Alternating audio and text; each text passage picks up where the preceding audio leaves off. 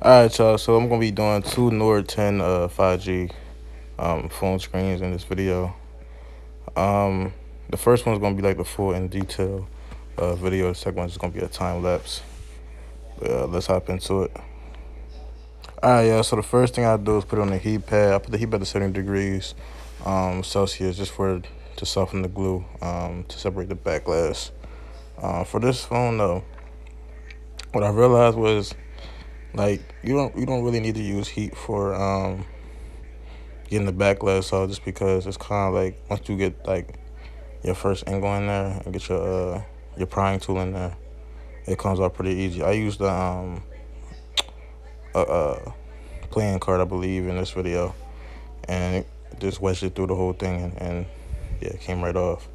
Um but for the first phone though i did use heat. Um i'm gonna show you in a second what i did all right, so I don't recommend this this like method for every phone, but what I ended up doing was getting a razor and like a um a little. It's not a plat. It's like it's like a playing card type um, texture with this card right here, and I just went around the whole thing with the playing card and um separated the back glass like that. Um, but to get like the initial like um wedge to actually get the card in there, I did use the razor to lift the lift the back glass up a little bit and you got to be gentle on that first little um, lift just because uh, you don't want the um, razor to scratch up the back glass or the phone frame. Just kind of make it like a 90 degree angle and then uh, tilt it to like a 45 degree angle. Make that wedge in there get some plastic in there and then separate it like that. All right y'all see right here this is the second phone. I went ahead and got the back glass up for i um did the screen repair just to do it you know all at one time because getting the back glass up like the one of the most tedious parts. So I just got the back glass off real quick, and um, you see me getting in there with the razor. Get my angle in there, get my wedge in there. About get a plastic bit in there, plastic spudger in there. Make my gap.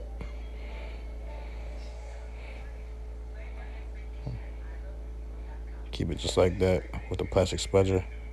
Put a razor out. I messed up. I think I have to put the razor back on. Yeah, put the razor back on. Kept my gap. Got my playing card in there. Everything smooth selling. Got around the edges. Up around the other edge. You know, nice steady pace. Not too slow, but, you know, not too fast either.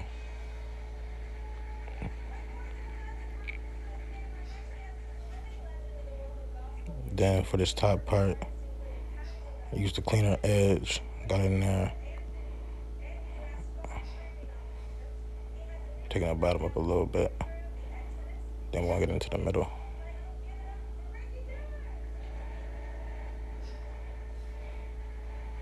I actually used the black spudger to help with the middle part. Mm-hmm.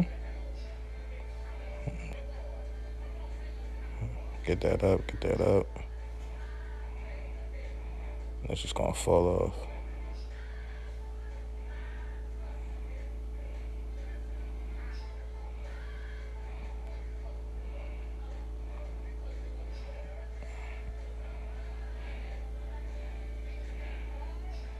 Alright.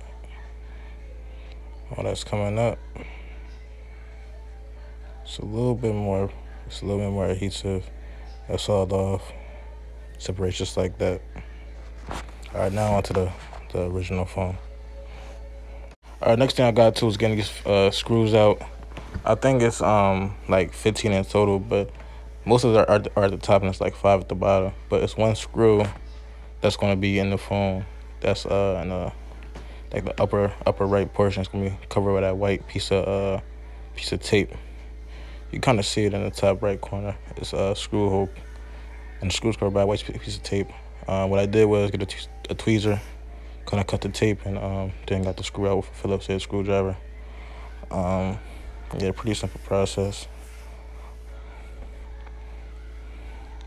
I'm gonna go ahead and skip through this part.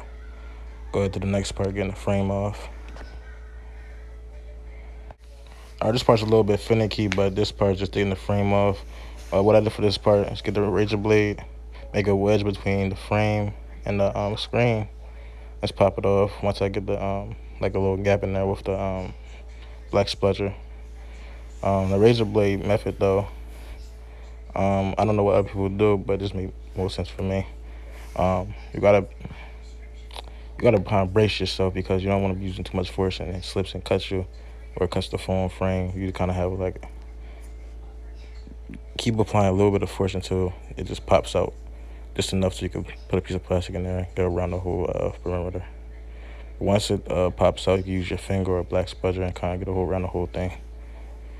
Take the frame out of place. Um, all in all, it took me probably about a, a minute and a half to do. I'm gonna let the whole thing play through just for anybody having any, any uh, difficulties with this part. I should have been told y'all this, but disconnect the battery first before um, as soon as you get the back the back glass off. But this step's pretty easy. Uh, for the Nord 10, they have like pull tabs for the battery, so you can remove the battery to get to the um, screen cable. Look how easy this is compared to an iPhone. Really just pull that up, comes right up like that. Yeah, it's like Apple really uh need something like this, but they they they add so it's uh fuck them. Repair wise fuck, uh, for a couple reasons actually. Yeah, you get the battery, um, a little plastic covering up, and then you're gonna have full access to the cable to uh, separate the um, screen. Nice and slow so I don't tear it. Alright, then I'm gonna go ahead and get the um, my spudger. Or I think I use my finger now. I use, I use the spudger and get the um, the cable up so I can uh, remove the screen. Yeah. It's glued down, so pull it up kind of slow. Then turn it around. And what I do is, um, I might cut to it. Yeah, I'm gonna cut to it. It's gonna be a little minute. But all right, so what I did was I ended up getting my heat pad off for no reason. I didn't really need it. Um, ended up getting a razor again, making a wedge with the razor. Then use the plastic to do the rest. Um, made a gap between the screen and the um, the mid frame. As you can see then pulling the screen up with um, my black spudger. Now I'm gonna play this whole part out but basically the um uh, extra little white part uh, you can barely even see it. You want to get behind that with the with the spudger and just pull out and the screen's just gonna come up pretty um pretty easy let me see. Yeah, I'm getting it up with the um the spudger. Falls, it falls.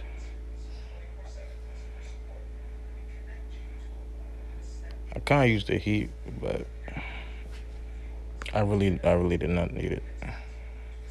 Like with the second phone, I didn't use the heat, and it took me a little bit, like less amount of times, because I was more comfortable with it. Um, the only thing you can't, that's nothing behind the screen of damage. It's just um the camera, but you always want to be careful in that area. But other than the camera, there's nothing behind the screen of damage. No cables beside the uh, ribbon cable that goes to the motherboard, but that's already, you know, connected to a bad screen. So again, black spudger. Could use a whole lot more force than I'm using. Pull it up.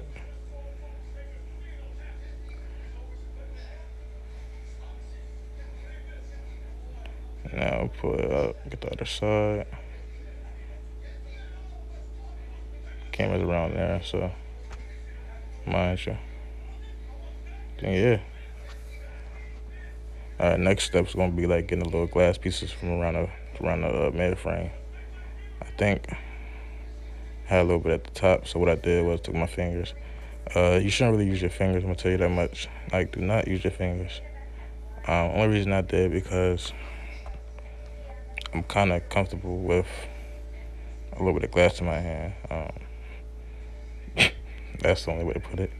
There's no safety reason why you should use your fingers to to get this uh, glass up. It's like it's not that much faster than using like a little razor or piece of plastic like cardboard to like kind of scrub it out.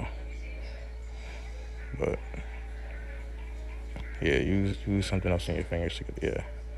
I use a little razor at the top just because those are kind of some uh, bigger pieces, but little little glass pieces not really gonna hurt that bad, but just be safe. Don't use your fingers. Uh, yeah, so what I always like to do, get the screen out the package and see how it fits. Make sure it fits with the Android phones because, you know, sometimes there's discrepancy with the seller or even the um, the part might be like a such a like a different a different country model. So um, just make sure the screen fits. Uh, this will have no issues. So so what I did was take it up, turn it on, tested it. Screen worked fine. So I um, went ahead and put the glue down, the tape down to um, adhere the screen to the to the mid frame. All right, here I'm putting the um the tape that I use onto the mid frame. Um, this is some 3M uh, double-sided tape. Uh, I'll link it in the description at some point, and um, yeah, it's pretty good for iPads, Android phones, any type of uh, like tech use. It's, it's really, it's really, really, really great. Um, never really had no issues with it. So yeah, get that side.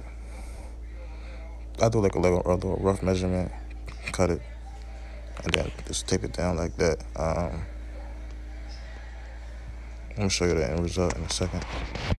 All right, once you tape everything down, this is what it should look like. Then you're gonna get a razor or a pair of tweezers, something with a sharp edge, and um, kind of like get it, get an edge up, and just take the tape off. Um,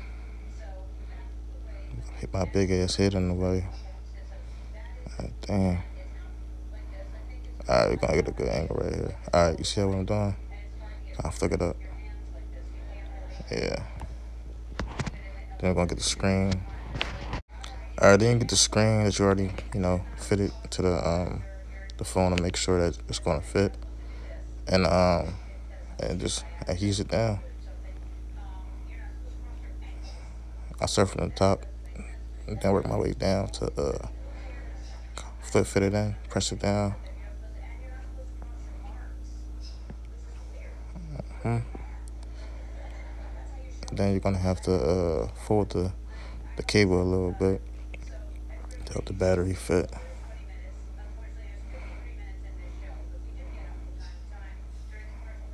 Clip it down first. Then make a little fold in there. Then you can put the battery in.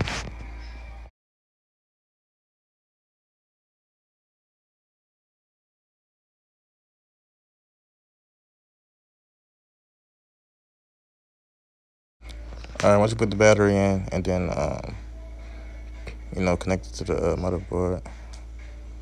I had a little difficulty with this one right here.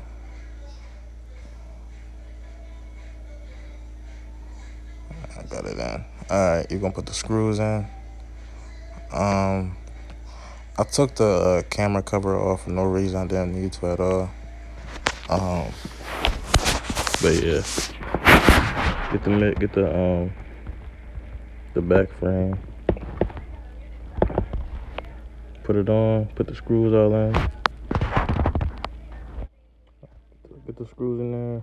Um, yeah, it's real quick job, quick and easy. Just one by one, put the screws in. then gonna get the SIM card in there in a second.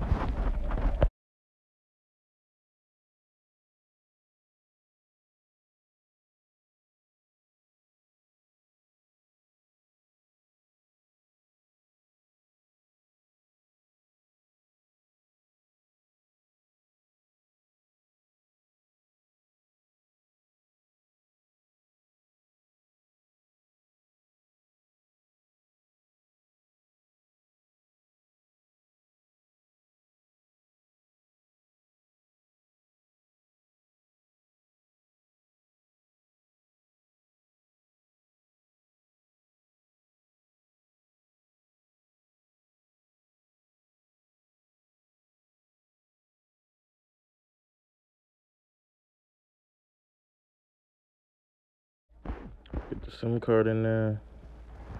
Bada bing, bada boom. Real quick, real, real easy.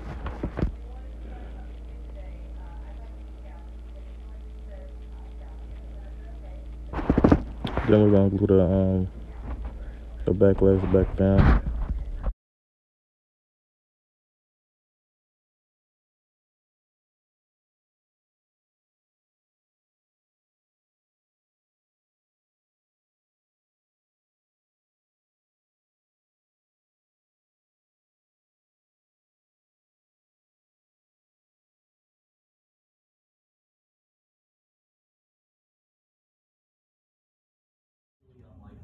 Right, same process here with the um, on the taping the screen now. Um, I want to get most most like the the big pieces of residue off from the old um, the old uh, tape, but you know a lot of it you gotta kind of leave. You don't gotta worry about. You just get like the big the big chunk stuff. Keep this the the, the um, alignment off. Um, yeah, then I just secure it down. And after I take the uh, the uh, film off to secure it down, and then test it. Alright guys, here's the final result. Looking pretty good, looking pretty great. Um, clean up with 90% uh, alcohol, 91% actually. Pretty versatile thing to use with tech. You know, test the touch. Test the camera real quick and yeah, everything good.